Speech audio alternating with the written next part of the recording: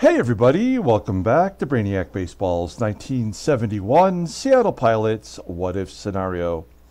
Today's matchup is between the Washington Senators and the Seattle Pilots at Brainiac Stadium. On the mound for the Senators today is Joe Coleman, whose record is 0 1 with a 12.46 ERA. And pitching for the Pilots is Dave Boswell, whose record is 1 0 with a 3.38 ERA. Okay, we got it handed to us yesterday by the Twins, 17 to 2. We probably could have cut that run total in half or so, uh, but we decided to uh, go with uh, one particular bullpen arm to kind of take all that abuse um, instead of uh, you know forcing all of our bullpen to play uh, in that game. We do have another six games in a row before we get the day off. So we tagged uh, as the pitcher who's going to absorb all those runs scored. And so he does have two days until he's rested. And since he is one of the few pitchers on our team that is able to go down to the minors, we dropped him down to AAA and we called up Ron Locke, who you may remember was outstanding last year and also in the expansion year for the Pilots uh, in our sim. We got him into trade with the Mets, who at the point at that point had not been in Major League Baseball for five years. And you know he's been great for us. And the only reason he's not on the roster this year is because he's not on a major league deal. Um, we were just waiting for an opportunity to bring him up. Ramon Hernandez will not be available, so essentially, you know, we could swap this. Ron Locke and all of these pitchers will be available today. Ramon Hernandez will be not but, uh, available, but he does have that check mark, which is my way of designating that a player's on a major league deal and, and cannot participate, uh, in, uh, not get sent down to the minor leagues, is what I'm trying to say. So, um, we're going to go ahead and get today's game started against the Senators. Uh, we will do a deep dive on Joe Coleman, who's pretty fascinating, actually. Let's go and get today's game started. As always, I appreciate everyone following along. Like and or subscribe to the channel, please. Um, we did do a video earlier today. I did an I Got This video where I showed you some of the cards that I've picked up in the last couple of weeks, which includes some 1975 and 76 Topps baseball checklists, as well as a, a huge lot of 49 1979 Topps football which was a lot of fun. So uh, that video will be posted uh, at the end of this video if you want to stick around to wait for it.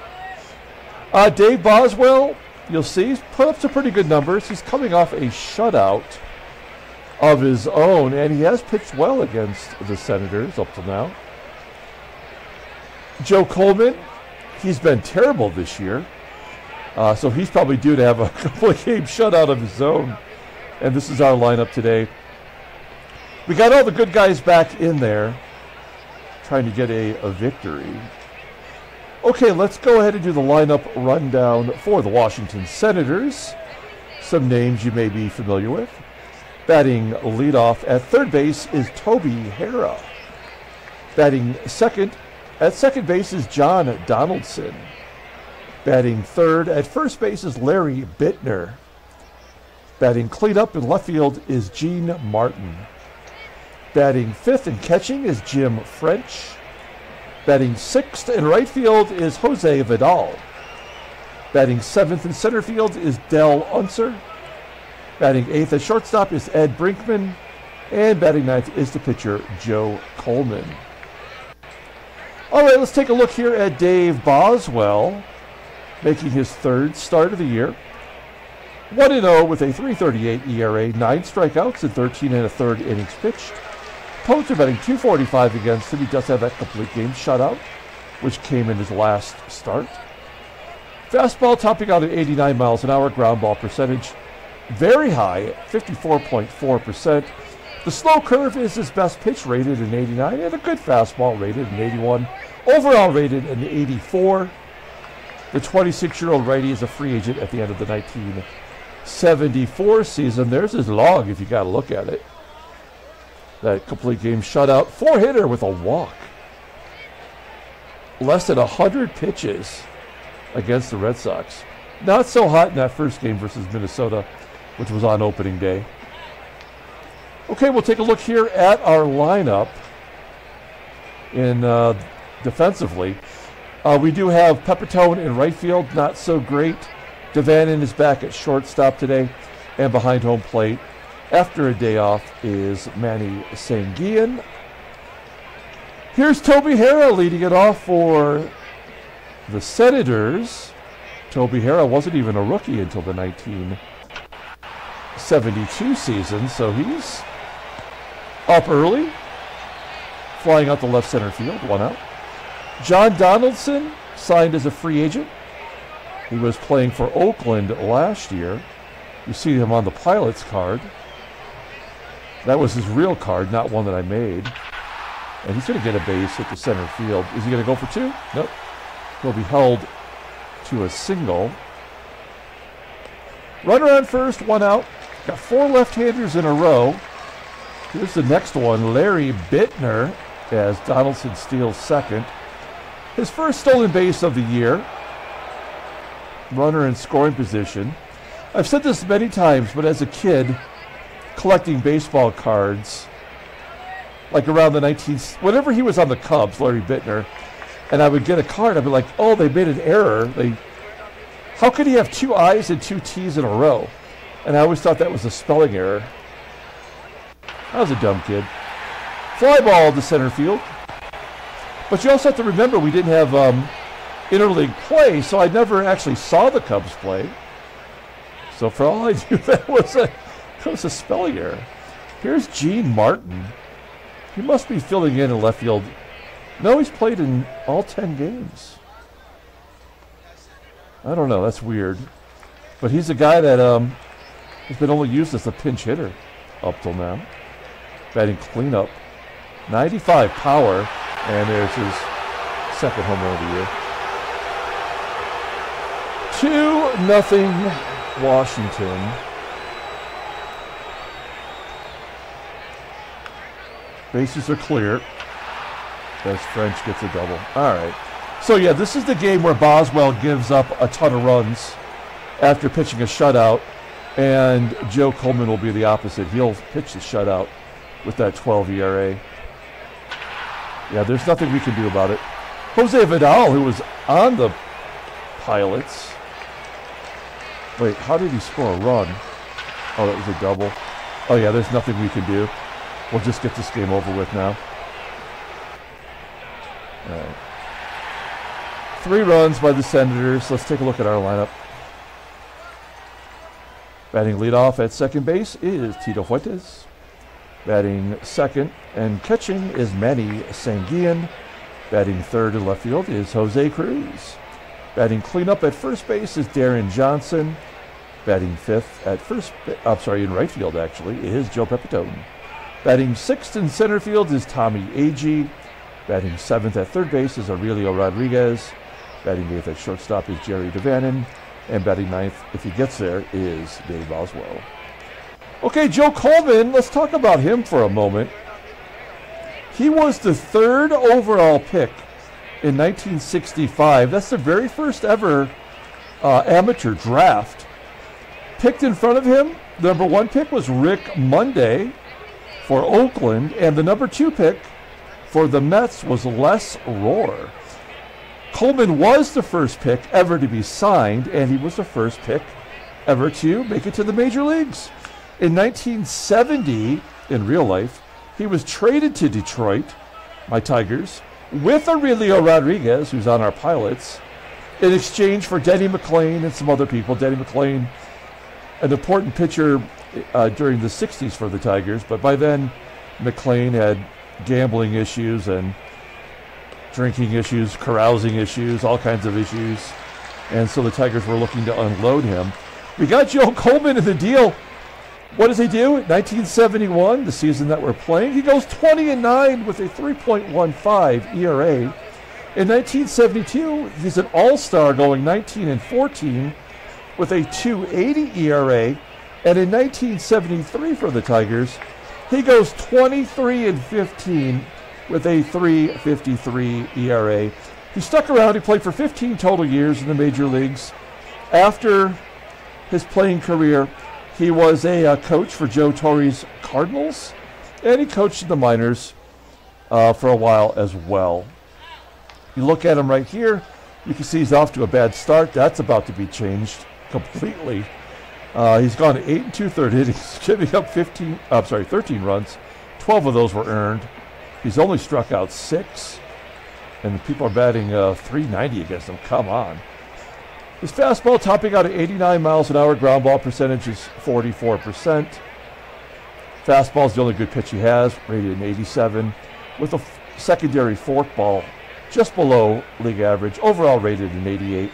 The 24 year old righty is arbitration eligible after this year. There's his, wow, his terrible numbers. He gave up 10 runs in three and two thirds. And usually the next start would be the bounce back. That's just not the case. I mean, he didn't pitch horribly, but he did get yanked after 79 pitchers, pitches versus the Indians. Kind of shocking. All right, we'll take a look here at the defense for the Senators. Right field is a problem defensively with Jose Vidal. Infield is pretty good considering. And behind home plate, maybe the best everyday catcher in the league, Jim French. He's got a 91 rating arm. And Tito Fuentes leading it off. TT count. Oh, God, this game is so over. I mean, literally, we could just push the button. Manny Sanguillen, after a day off, gets a base hit. There is nothing we're going to be able to do today, though. Cruz popping up. And Deron Johnson striking out. Top of the second. Here's the pitcher, Coleman. He's got to get a hit. Yep. Oh, no, ground ball to short. One out. Back to Toby Harrah. Another hit. Nope. Ground ball to short. Error. Yep. And JD. There's that hit. I knew the. Everybody goes to left field, of course, because that's exactly the way all baseball players hit. Donaldson gets his next stolen base, and it's 4 nothing. Oh, ground ball to short again. Okay. Bottom of the second. This is going to be a complete game shutout. Everybody hitting it to the left side.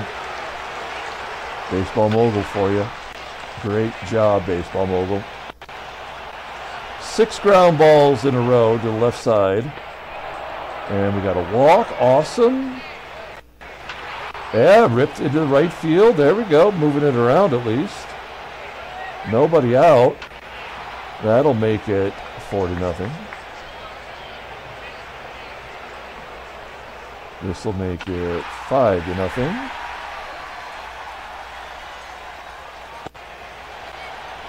Oh, and first base tags up with a 88 rating. That makes sense. There's a strikeout. We're back to the pitcher who strikes out. Awesome. Good job, baseball mogul. 23 runs now scored against us in 12 innings. You got to love it. Nothing we could do to stop it. Oh, uh, no, Dave Boswell. He gets a double. They wanted to trick us into a triple. We didn't fall for it. We know pitchers only get doubles. They never get singles. And that's stupid as shit. As Tito Fuentes gets a hit. He'll be thrown out a second. No, he's going to beat it out. That's his first double of the year. Who'd have thunk it? Well, there goes the shutout. I guess we were wrong on that. Yeah, we're going to get a second one here. Oh, jeez. Out at home with a fucking 69 arm in left field with a 90% chance of scoring. That's how you know the game is truly over. God, I hate this game. It sucks so hard. What a bunch of colossal bullshit. Can't score on that. It's not even into the outfield. Oh, okay, there, there he goes scoring. A catcher scores from second on a hit that goes 146 feet. Baseball mogul blows bear nuts. This game seriously is bullshit. I mean, we knew this was going to happen. So we can't really be all that surprised. It's just the way that it goes down every time.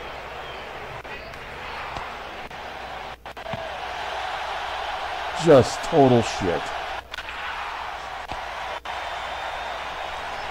Yay, the best defender in the game commits an error. How many runs are they going to get? Yeah, great job, baseball mogul. He's given up one. That's all he's got to give up, right?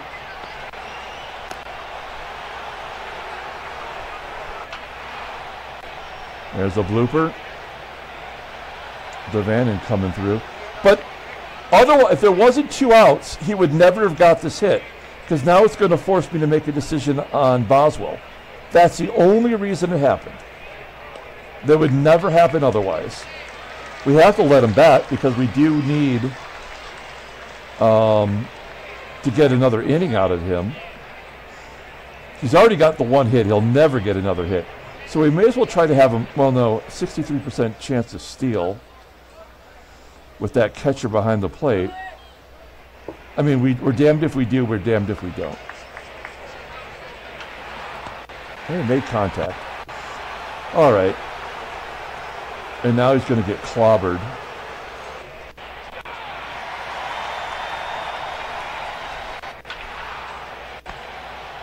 Hundred pitches now. Yeah, another loss for Dave Boswell.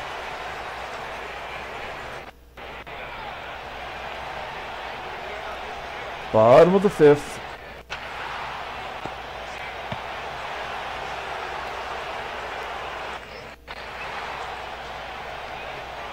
Yeah, we will not get another hit this game.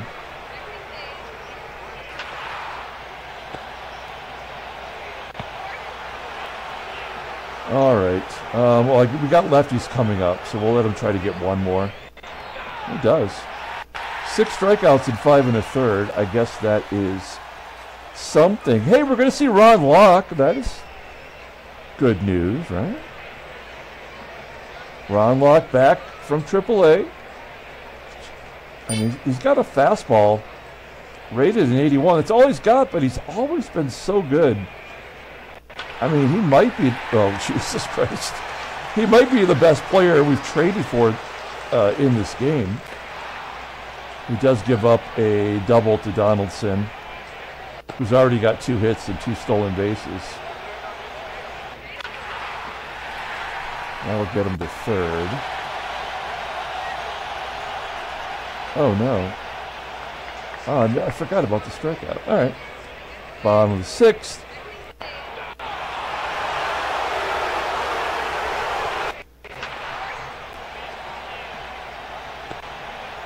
Just trying to get it over. Agee. We'll steal so he can get thrown out.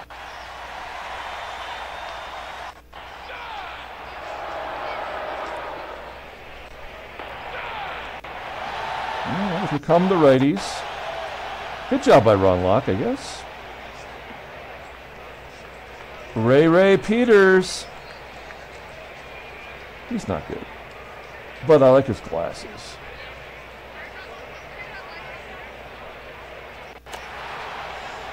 And I, have said this before, I mean, we really got to get through a month before I make real decisions about who's staying and who's going.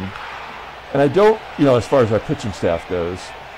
And we really have to get to like the halfway point of the year before we bring up uh, Dennis Leonard and Dick Ruthven. You may remember Ruthven was pretty good last year in September as a September call up. But Dennis Leonard was terrible.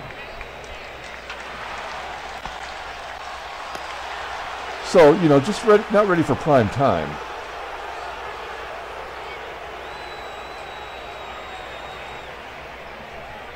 We, we have not had another hit since I said we would not get another hit. I really thought this was going to be a complete game shutout. But I suppose if you only give up two runs after having a 10 run game, you can feel pretty good about yourself. Dick. We're going to bring in Dick. Dick's been bad too.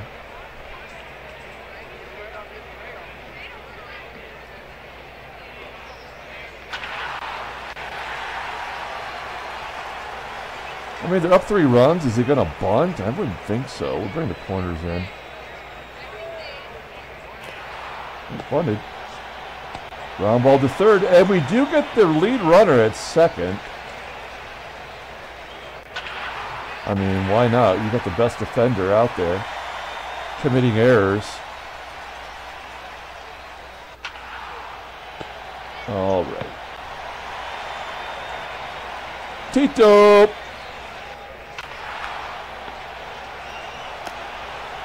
There's your in-game stats. Sanguillen, a couple of hits today. All right. I mean, there was no doubt Joe Coleman was going the distance today. Uh, we got some lefties, so outcomes out comes Raditz. Good job by him, though. Um, let's bring in Riddleberger. He has yet to give up a run, and he's really overdue. So let's have him give up a couple runs here in a game which uh, we were going to lose anyway. Yeah, I mean, it has to happen. It's the only way the game works. Lefty on lefties, you wouldn't think they would have any chance, but naturally they will in this game because, like I said, he's got to give up the runs. He's got a case of the runs. Three consecutive left handed hits there's nothing we can do. So we just have to sit back and let the game punish him. And then he might not give up any runs for quite a while. Four batters before he finally gets an out. And now it's the weak hitting shortstop. We'll pull the infield in. But he's going to have a sac fly. It's so fucking predictable. That's how garbage baseball mogul is. Oh, he's not going to get a complete game out of it. They're going to pinch hit him. Seven to two. That's your final score. They're bringing in Casey Cox.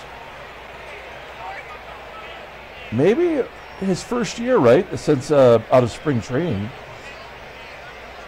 uh, on this team. So good for him. He's kind of earned his way into the bullpen. It doesn't matter. This means absolutely nothing. There's the double play, and here's the ball game. Tigers lose 7 to 2. Game was over before it ever started. Another piece of shit baseball mogul game. Simulating, uh, I did go through and make I'm sure every player was um, marked trade, you know, uh, you know, for trading, except for our two pitchers in the minor leagues that we care about and Dave Parker. Otherwise, everybody else is eligible to be traded. Oh, I'm still thinking about it. Just punishing us for all this garbage. Okay. Well, we lost three. So we lost, we went, we won the opening day. We lost four, we won three, we lost three. Great job, baseball mogul. Um, we'll take a look here at the National League, I guess. There you go. San Francisco, nine and two. That's that's a good start. Headline news: Brainiac Baseball Daily Beat. Nobody cares. Uh, transactions. Yankees pitcher Hal Reniff a forearm fracture for five days? He fractured his arm. What the? And Jim McKee, blurry. All right, let's pull up the box score and get out of here. Not safe for work language today. I think you can runs in two days because the game has to get the ERAs back. So now Boswell goes from a 338 to almost a 5 because he had to. So his next start will be good. Joe Coleman goes eight innings, giving up only two runs. His ERA dropped from 1250 to 750. So you know his next start is going to be great. We had two extra base hits, including one by the frickin' pitcher. And uh, their offense was unstoppable despite having less wins than we did coming into the ball game. 14 hits. Oh, I wanted to mention yesterday's game. We gave up the 17 runs. Our pitchers walked eight batters in, in giving up 17 runs. Did not strike out one batter the whole game. Eight walks, no strikeouts. Great programming, baseball mogul. Okay, we'll come back tomorrow. Play another piece of shit game. Until then, everyone, have a good one.